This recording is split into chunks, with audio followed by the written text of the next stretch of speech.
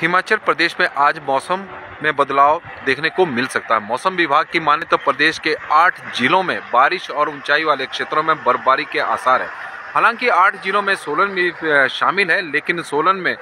धूप इस वक्त खिली हुई है, मौसम साफ़ नज़र आ रहा है। लेकिन मौसम विभाग की माने तो सोलन, शिमला सिरमौर, कुल्लू, किन्नौर, लाहौल स्पीति मंडी और चंबा जिला के कई क्षेत्रों में बारिश और ऊंचाई वाले क्षेत्रों में हिमपात होने की संभावना है। मौसम में बदलाव इस वक्त न्यूनतम तापमान में भी देखने को मिल रहा है और स्थिति यह होगी है कि शिमला का न्यूनतम तापमान बिलासपुर, कांगड़ा उन्ना सोलन और मंडी से भी ज़्यादा हो गया है। शिमला का न्यूनतम तापमान इस वक्त 11.4 है, कुफरी का 11.2 है, नारकंडा का 7.4 है, जबकि समदो का माइनस चार